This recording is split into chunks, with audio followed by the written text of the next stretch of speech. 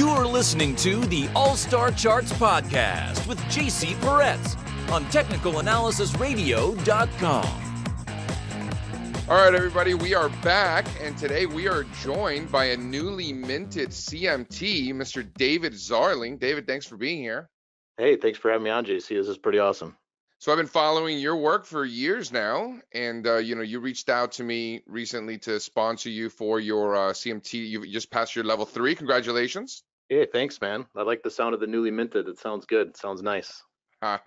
yourself, Tom Bruni, uh, Ian McMillan, you know, a lot of uh, a lot of friends out there kind of finishing their uh, process. But the reality of the matter is, we're all just really getting going. You know, we're all relatively young. We're early in our careers, and um, you know, we have a, a, lot ahead of us. Um, why don't you tell everybody a little bit about what you're doing? You're doing some publishing.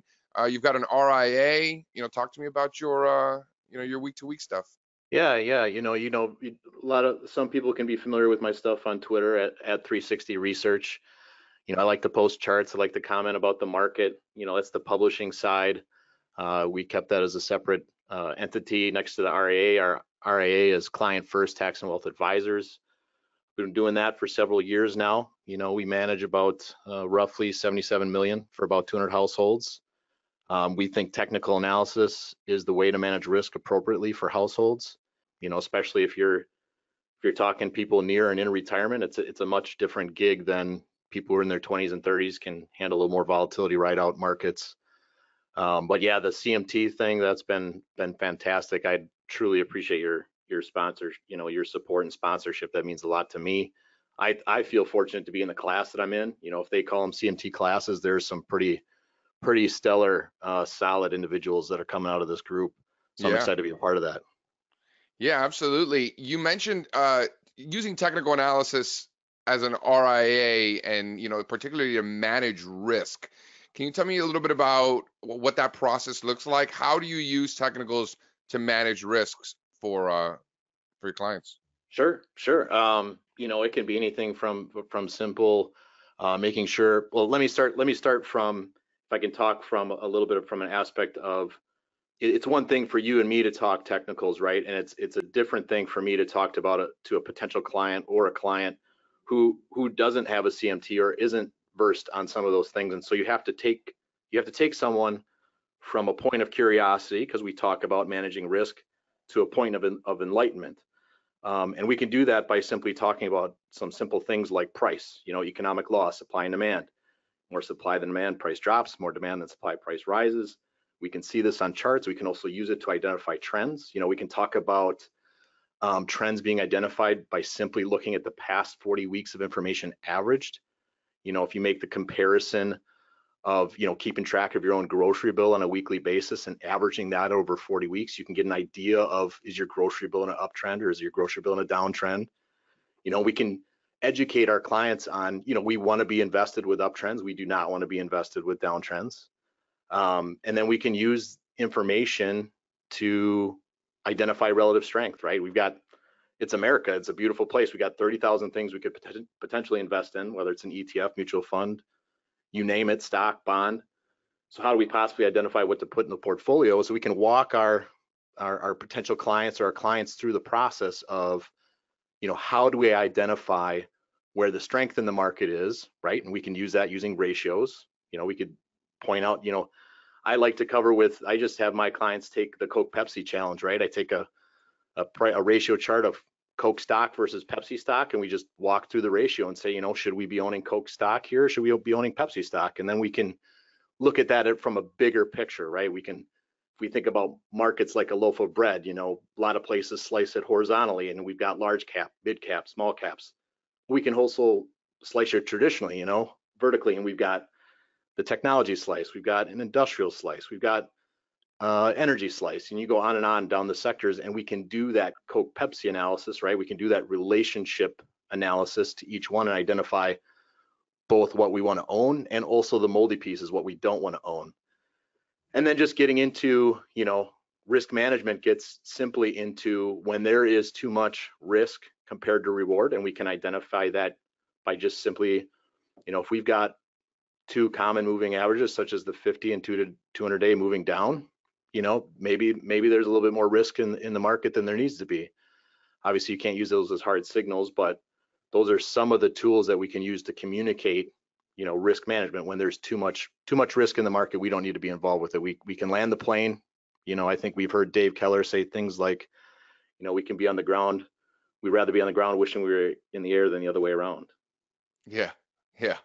And and what about the sort of evolution of your process? I mean, this it wasn't it wasn't always like this. Was this uh, did you find this out of necessity, or was it just kind of like you just kept seeing what worked better? How how did you get to where you are today?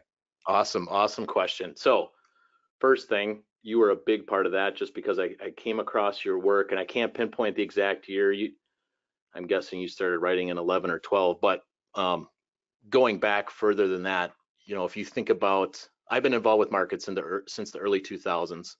So I've been through the dot com bust, great financial crisis. You know, those were, you know, great and interesting times.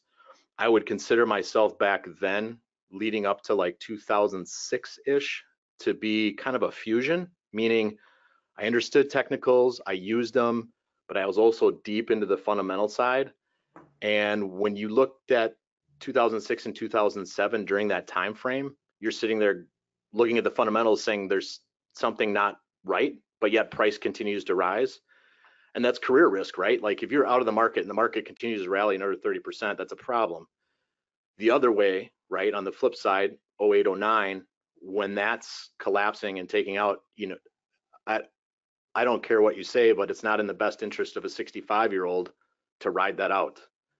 And so the evolution of that process really came from um, 08, 09, uh, completely saying, you know what, buy and hold while it's a, it is appropriate for some people, it's not appropriate for uh, pre-retirees and retirees because you can't have your portfolio cut in half and expect to have a, a, a bona fide retirement plan. And then leading up to it's really things really started to click when I came across your work, JC. Uh, you, you know, I, I think you were just getting started in 2012, but some of your ratio work, um, just simple things like how we use RSI, looking for RSI divergences, keeping it simple, just using price, one indicator, maybe looking at what direction the 200 day moving averages is going at. Like for example, right now, you know, flat 200 day moving averages. Of course, the market's going to be a little bit messy. Um, you know, you, you would call it a hot mess, but I, you know, so you were a big part of that. So I got to thank you for that because that solidified our process to the point now where we do give our process here a name. We call it the adaptive investment management system because we're going to adapt to different market conditions, right? Markets are never the same, um, which is the beauty of them. They can be in an uptrend, no trend, downtrend, and we have to adapt to that. And so really, it's been a growing process and just, you know, I think you know this, the longer you're involved with markets, the, the more experience you get, the more you understand how quickly risk happens. And you have to have a way to manage that. And technical analysis helps us do that. Yeah, I, I think this, I think this is a great topic that I, I wish you know I wish I I, I would have uh, have more perspective from the financial advisor you know the technician community um, than we've had up to now uh, in in the podcast in the past. But now that we're on the subject, I think it's I think it's fantastic. So from the perspective of a financial advisor, how do you then when you're when you're making decisions when you're making changes i mean i love the the comparison, the Coke Pepsi, to sort of use that as a springboard to then explain other things. Um, what other sorts of uh, conversations are you having with clients specifically regarding technical analysis? Well, you know that that's a good example. Um, you know, I think in overall we want to talk about just for us focus on the on the signal and avoid the noise. Right?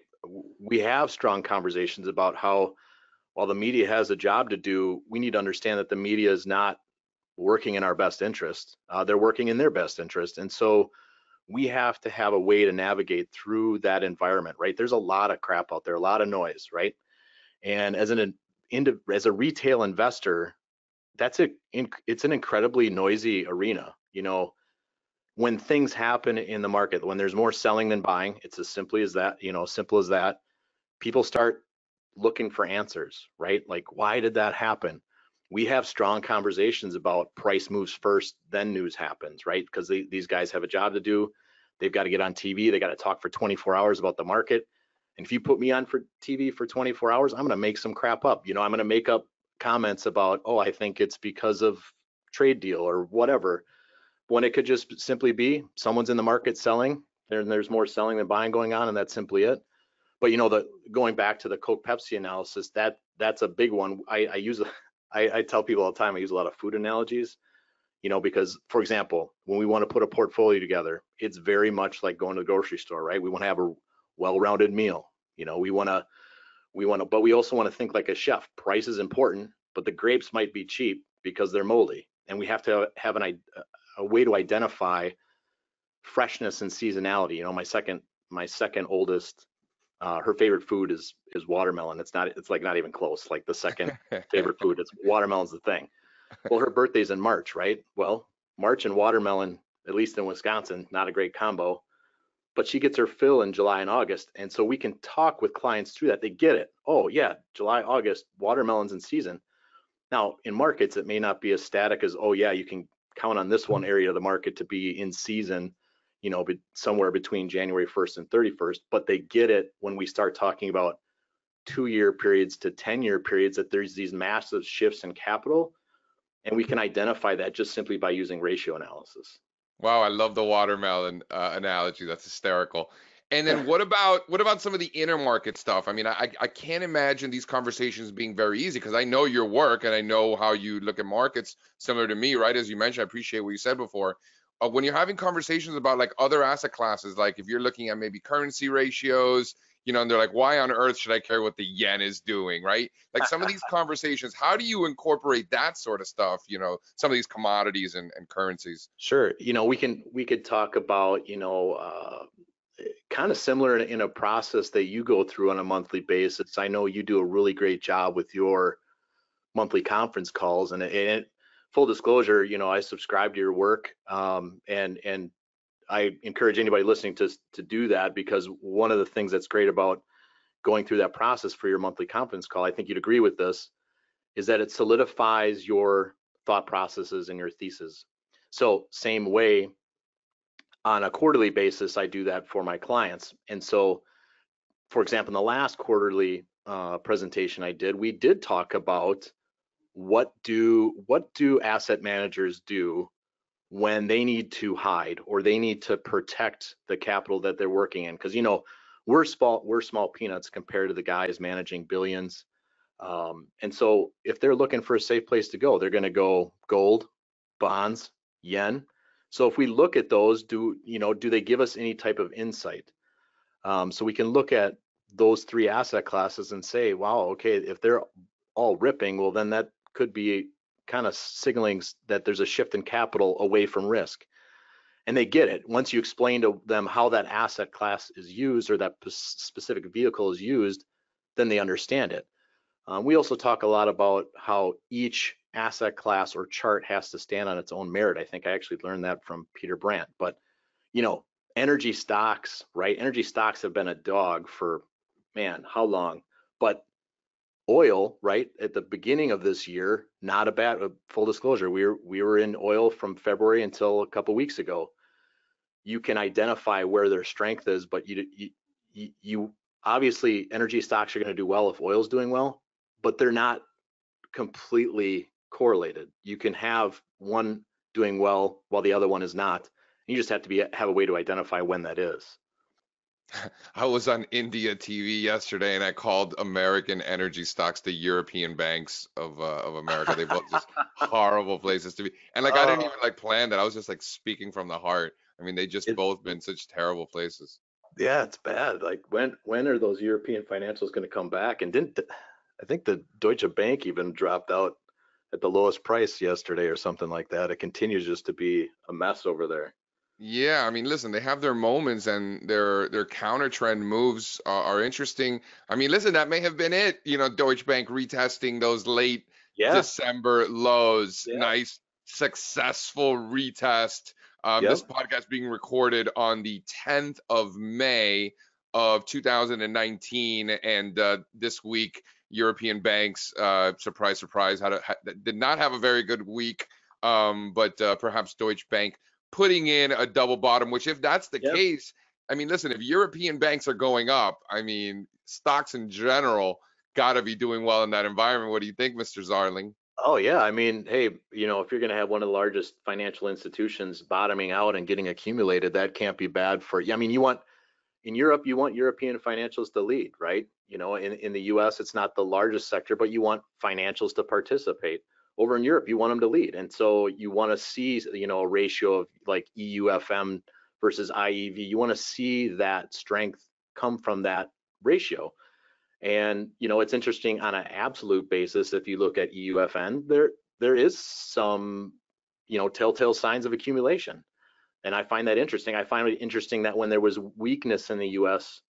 this week, that we kind of saw Germany and Europe hold up. You know, it, that's I think that's an interesting uh, development, not something that we had seen before.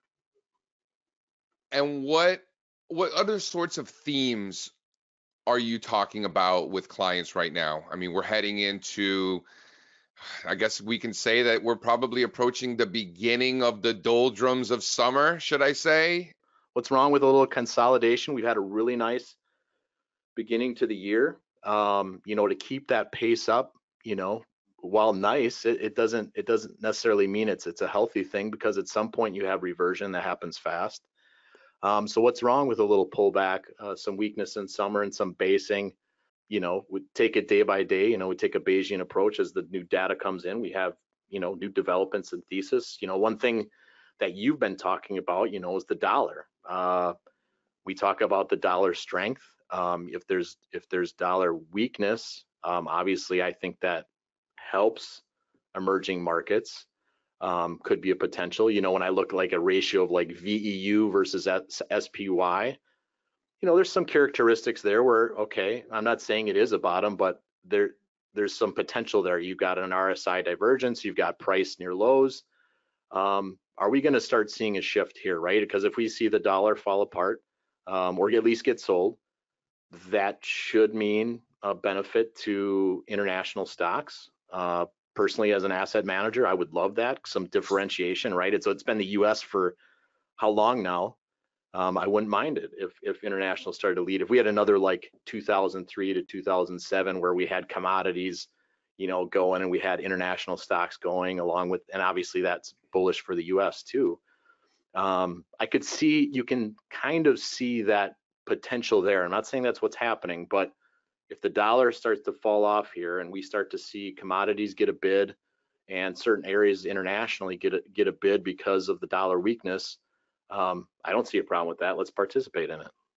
I mean, the dollar's been flat all year. I mean, full disclosure, I've been waiting for the rollover and it hasn't come, hasn't Right. rallied, but hasn't come. You know, euro, you know, but then you're seeing euro and uh, pound sterling starting to make some moves. So, I mean, I'm I'm still optimistic for that U.S. dollar rollover. Now, let's flip that script. What if the U.S. dollar doesn't roll over? We rip to new highs, and you got another five, six, seven points in the Dixie. I Yeah. can't imagine stocks doing too well in that No. environment.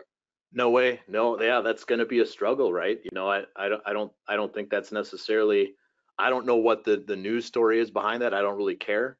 Uh, but you know, a dollar, a dollar rising or ripping like that above these, you know, let's call it 98 level.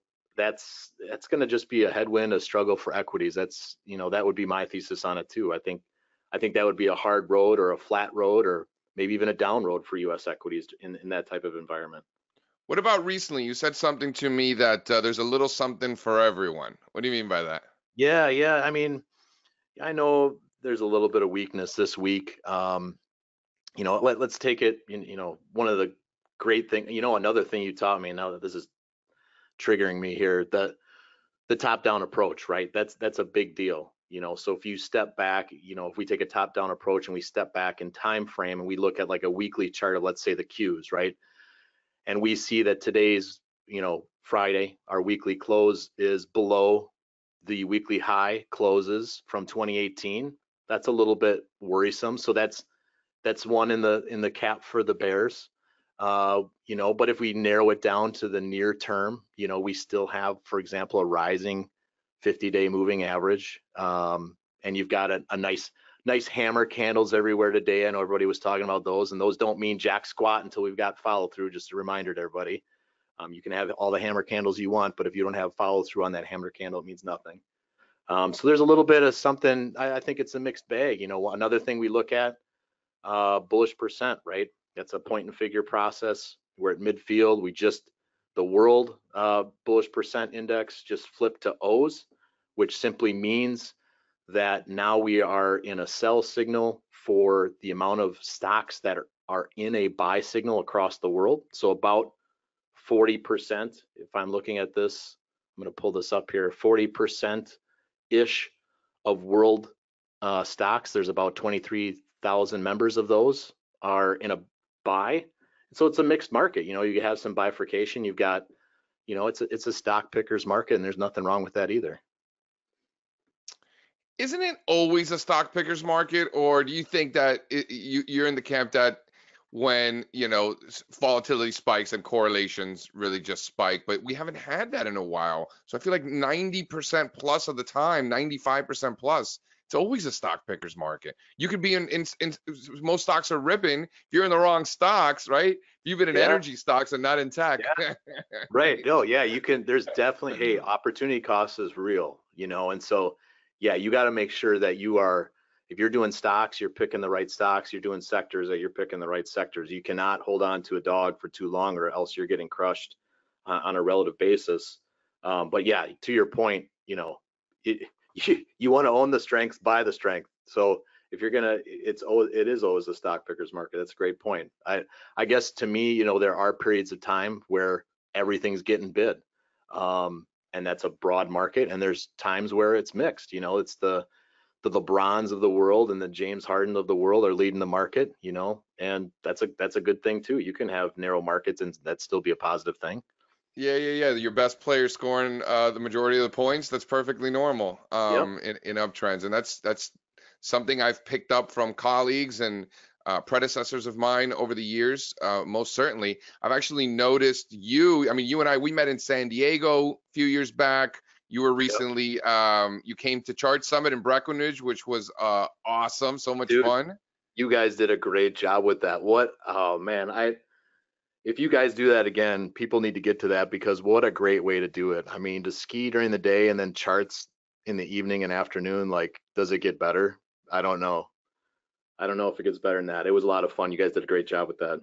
Well, I appreciate that. It's not like me and Brian are, uh, you know, Mr. Event throwers over here. Um, you know, we just want to look at our charts and, and and do some skiing, and you know, we're just very lucky um, how awesome it actually turned out. So we're very fortunate in that. And then I just saw you recently at the CMT symposium yeah. in New York City as well. So you've been yep. you've been making your rounds. Um, you know what what what drives you to you know show up at these things? Are you learning? You're meeting people. Yeah, yeah. There's there's multiple reasons, right? Um, you know, I I don't know what uh, you and, and Morgan get to talk about, but it's not it's not like I get to go into anybody, you know, like my buddy's house, or I go over to, you know, and, and and talk with my wife. My wife and I talk about different things. We don't get to sit, we don't sit there and talk markets. Her, her eyes would roll in the back of her head. And so for me, it's getting around uh, like-minded individuals. You know, I don't I don't expect other people in my life to have those same passions and understand those same things. And so I there's times where you you have this natural desire to get around people that challenge your thinking. Um, you know, because if if someone's truly an open-minded technician, right, they're going to be able to, like you said, uh, you know, think oppositely. If the dollar does this, what happens? If the dollar does that, what happens? Um, and if you're around other open-minded technicians like that, it can challenge your own thesis a little bit, and that and that's a good thing. Um, plus, I mean, the CMT symposium that was just that was great, and I and I think it getting around other industry, right? Because I'm just standing kind of on the shoulders of guys like you. Um, we're standing on the shoulders of guys like Ralph Acampora, Louise Yamada. Like there's all these technicians that came before us that, you know, because none of the stuff I'm using is like earth shattering and and and new. It's stuff that I learned from you. It's stuff that I learned from Peter Brandt. So these different events that are going on, I want to get to them because I want to have conversations with people that think in that framework, if you will. A lot of people out there, you know, they they always wonder. I mean, I've I've just been very lucky. I, I guess I've been, you know, I lived in New York for so long, so a lot of events essentially came to me, and then ultimately we started doing stuff, going to places in California. Um, but I was just lucky to just kind of in New York be able to always be surrounded, you know, by smart people, and I guess I take that for granted. What about other people? Who don't really go out of their way to make it to some of this stuff. What do you what do you have to say to them? Oh, uh, you know, maybe maybe think differently about it because um, no matter what you're going to, um, you're always going to get a nugget, or maybe you're going to get a connection with with a group of individuals. You know, I I think about you know running into guys like Patrick and you know Steve Strazza um, getting a chance to talk to a guy like you. Like it's not every day that someone just just gets to come and talk to JC Parets um, and and and and kind of pick his brain about what he's thinking about the markets. And so, to those who who don't make the trip, just you know, I would just say go, just go and do it. Um, talk to people. You, you will not regret it. The experiences you have, whether it's talking about markets or even just talking about, you know, hey JC, how's your how's your wine thing going? You know, or or or whatever. It, it, there's lots of different opportunities to talk about different things, and we're all most technicians I know are syntopic learners, meaning they're able to apply different aspects of their life together, and that makes for great conversation. So come out, learn something new. Um, you know, come out to Chart Summit. If you guys are doing that again, I come out to that. Come out to the CMT symposium. You, you're going to come away with nothing but good things. What are you doing now to improve and learn more? You're done with your CMT. You know, you're focused on your business. Uh, uh, I mean, obviously, you're going uh, on, on, on various trips and listening to presentations. But what about at, at home? What are you reading? What are you consuming these days? Well, right now I'm I'm I'm going through uh, Market Wizards again. Nice. Um, yeah, it it it's such a good. Oh man, there's so much. You know, I, I'm sure most of the listeners to on here have, have read that book, but there's so many good books to go back to, but that's one I'm reading right now. Um, I think just being involved in markets themselves on a daily basis and challenging your thesis um, is one way to stay sharp. Uh, you know, great podcasts like yours is just a way to uh, learn. Um, you know, like one of the ways that I use your uh, service, JC, is I use it to. Um, it's this brings up another thought that crossed my head about um, how did I get to this point? Um, and same thing with studying for the CMT. Uh, you, you, might be familiar with Matthew Verdouw, right? Uh, yeah. Through Optuma, and he has his education course for the CMT. What was beneficial about that is it provided a framework for learning, right? And so same thing with the stuff that you're putting out, JC, is it's a framework for learning. It's it's an it's one thing to have a thought, but to organize your thoughts is a different thing. And so that's something that both you and Matthew have done very, very well. Um, and so I use your I use your research to continue to learn, to continue to challenge myself. Um, but yeah, reading, uh, podcasts, you name it, I'm all over it. You mentioned the Market Wizards books. You know, one of the common themes that you'll find chapter after chapter from all of the different people he interviews, uh, that Schwager interviews, is risk management. You notice that? Oh yeah. Oh, yeah. Every oh, yeah. single one. yep. It's job number one, man. Risk management is job number one. I think sometimes we forget that. And by the way, it's not just one. I mean, there's the original Market Wizards book, but then there's like the hedge fund Market Wizards. I suggest read them all. They're all so good. Um, and and it's it's really interesting finding the common denominators between all of them, what makes them all so successful. But one of the also interesting things about uh, the Market Wizards books is that while they they all are focused on managing risk, right? Rule number one, like you said, um, mm-hmm. All of their strategies are all completely different. Yeah, um, yeah. But would still focus on the risk management. I find so interesting. Yeah, all of them. Yes, exactly right. All of them different styles, whether it's some type of moving average or trend that they're they're taking on, but they all super aggressive in protecting their capital, and that that and that really drives home in in that in that book for sure. And I do have the hedge fund one lined up next. Nice, it's a good one for sure. Yeah. Um, yep. All right, so we have a lot of financial advisors out there listening, all over the world for that matter, but definitely in North America.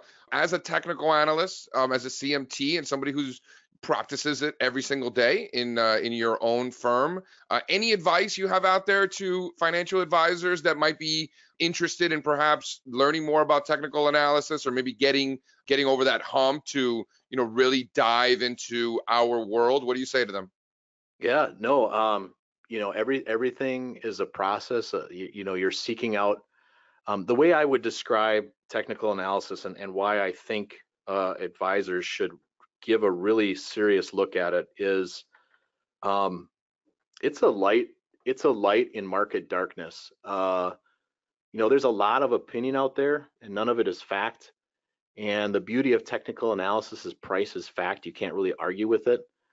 And so you know there's man for financial advisors there's so many different conferences there's so many you're getting bombarded nonstop with different strategies uh, different pieces of information, how you should be doing things, how you should diversify, how you should identify risk.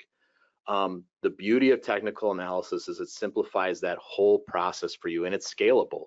Um, you know, I, the majority of financial advisors, and, and, I'm not just throwing this out there off, off a cuff, there's research on this. I'll give an example. I ran into someone yesterday who was talking about an RIA that has 1,100 holdings. I don't know how you manage that. I don't know how you manage 1,100 holdings. Uh, that that's crazy, you know. Uh, so I, you know, so do you have a process to scale your business? And technical analysis can do that. And so if, if you're looking for ways to learn more about technical analysis, uh, you know, shameless plug for you, I read your blog. You know, consider subscribing to the information you're putting out. Um, listen to different podcasts. You know, this one you're you're you focus on purely technical, that's awesome. They should be listening to this podcast. Um, CMT, they can go online and read about. In fact, you know, I thought Tom, your your buddy Tom, did a great job kind of laying out the CMT, like why he thought about doing it. Read that. Um, you could link that in your show notes. Um, but I highly recommend it because supply and demand price is the final arbiter of value and it helps cut through all the noise, which there's a ton of in our industry, just un- unbelievable amounts of noise, and price cuts through all of it. Well, David, I appreciate all the uh, kind words. I, I, I didn't even uh, I should be paying you uh, for uh, for all these promos. yeah, yeah, it's like nonstop, right? so thank you for that, though. It means a yeah. lot. And again, congratulations on uh, on passing the CMT, and thank you for uh, being here on the show. I really appreciate it. Yeah, you bet, man. Thanks for having me. Thank you for listening to the All Star Charts podcast with JC Parets on Technical Analysis Radio. To see all of the charts mentioned on today's show, please visit allstarcharts.com slash podcast